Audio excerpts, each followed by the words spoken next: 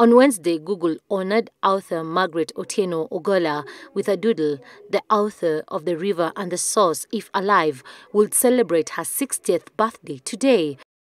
It's a very good step that Google took in order to identify, to, to make visible the African creators. It is with such background of great authors, exemplary artists to mention but a few, that leaders from 45 countries in Africa gathered in Nairobi to deliberate on better access to information systems, while at the same time having balanced copyright laws that protect the creatives. And what we actually need to do to make sure that we create more awareness, right? Better capacity, right, in copyright, so that anybody right, who uh, creates anything, right, has the right to protect it, uh, but also to get a fair shake, right, whenever this um, intellectual property is utilized by others, right. So we talked about the balance between, um, you know, the users and the producers. So you need to have a system.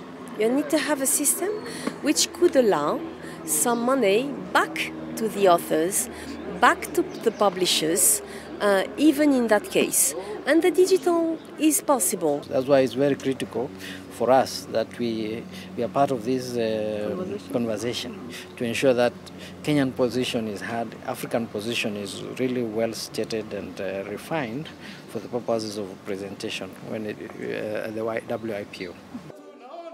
But how is information with regard to copyright accessible to Africans?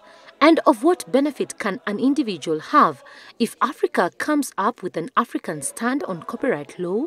There are a lot of uh, laws uh, in, uh, already in Africa, but they are very old. They are not fitted for the uh, for this digital environment where we are, and uh, we need a lot of new uh, rules, which would be, as I said, balance.